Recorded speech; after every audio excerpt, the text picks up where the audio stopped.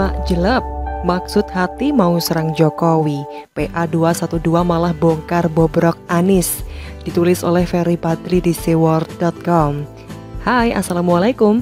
Jumpa lagi dengan Suara Samara di channel TV Jurnal.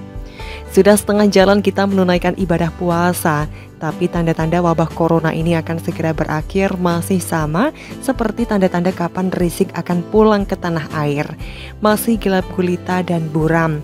Pemerintah pun sudah berusaha sekuat tenaga untuk menangani wabah ini, mulai dari menyediakan rumah sakit khusus untuk merawat pasien positif corona, mendatangkan alat tes corona, serta mempersiapkan produksi alat tes sendiri, termasuk juga meminimalisir dampak ekonomi dari wabah ini, seperti memperbesar jumlah bansos untuk warga yang kurang mampu, seperti PKH, BLT, dan BPNT, memberi kelonggaran kepada warga yang punya pinjaman uang di bank untuk membayar cicilan, serta memerintahkan para kepala daerah untuk menggunakan APBD untuk menangani wabah COVID-19.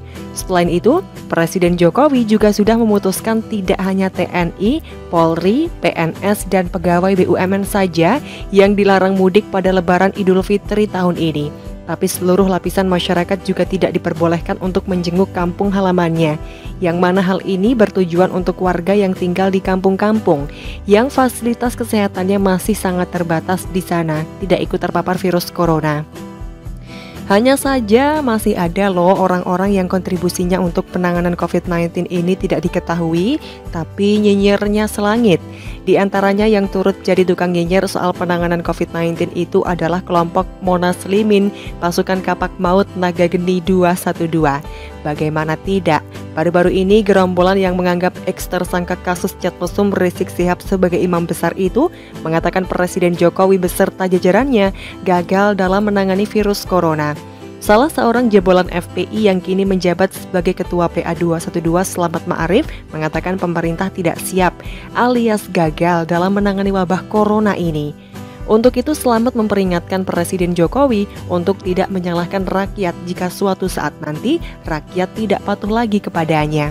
Selain itu, Selamat juga menceramai presiden, seolah-olah dia lebih presiden daripada presiden beneran dengan mengatakan Jokowi harus segera menyalurkan bansos kepada masyarakat karena saat ini banyak masyarakat yang membutuhkan bantuan dan tanpa bukti yang jelas dia menuding ada indikasi korupsi yang dilakukan oleh pemerintah pusat terkait penanganan wabah corona ini.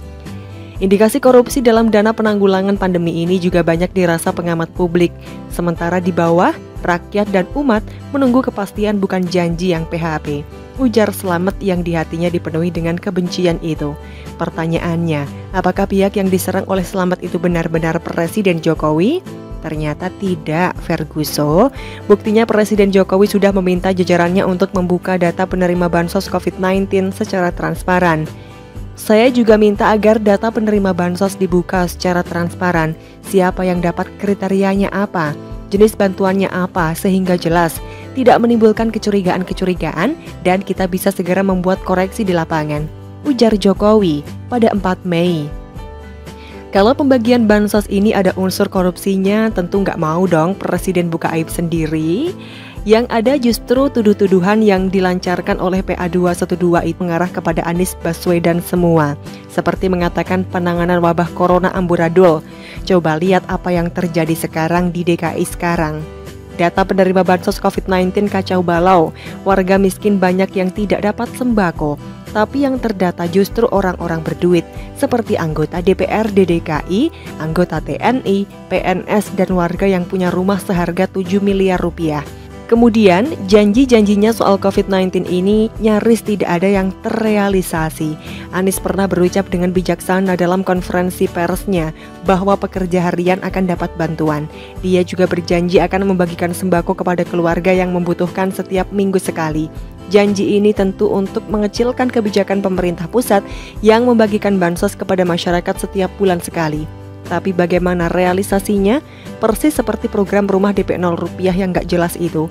Nyatanya warga hanya dapat bantuan baru satu kali selama PSBB ini. Cerita katanya empat kali dalam sebulan itu ternyata hanya fiksi. Mirisnya lagi, data warga yang dapat bansos itu turut digelembungkan oleh Anies. Berdasarkan rekap data bansos di corona.jakarta.go.id, pada 9 sampai dengan 25 April 2020 ada 1.049.317 KK atau 87,4 persen yang telah menerima bansos tahap pertama. Tapi diklaim olehnya sebanyak 98,4 persen dari target 1,2 juta warga DKI yang telah menerima sembako COVID-19 itu. Jadi ternyata Doi tidak hanya pandai menggelembungkan anggaran Aika Ibon saja, tapi juga pandai menggelembungkan data penerima bansos. Sungguh terlalu. Belum lagi saat ini Pemprov DKI tidak mampu lagi menyalurkan bansos bagi 1,1 juta warganya karena dana sudah habis. Padahal DKI merupakan provinsi yang memiliki APBD terbesar loh dibandingkan provinsi-provinsi lainnya di Indonesia. Tapi bagaimanapun besarnya APBD kalau dikelola oleh orang yang salah, yang hanya pandai menata kata saja tapi tidak pandai bekerja, tetap saja hasilnya duit habis, dampaknya nggak kelihatan. Jadi fix PA212 yang kalian serang sebenarnya Anies, bukan Jokowi, karena pada kenyataannya gubernur junjungan kalian itulah yang justru gagal menangani wabah virus corona. Inikah yang disebut pengalihan isu? Gubernur idolanya kehabisan dana, ketahuan gak becus mengurusi warganya. Duit habis entah buat apa. Eh, mereka malah sibuk mengkambing hitamkan Presiden Jokowi. Bagaimana menurut Anda? Silahkan untuk tulis komentar di kolom komentar. Jangan lupa untuk like, subscribe, dan share. Samara pamit wassalamualaikum warahmatullahi wabarakatuh. Bye.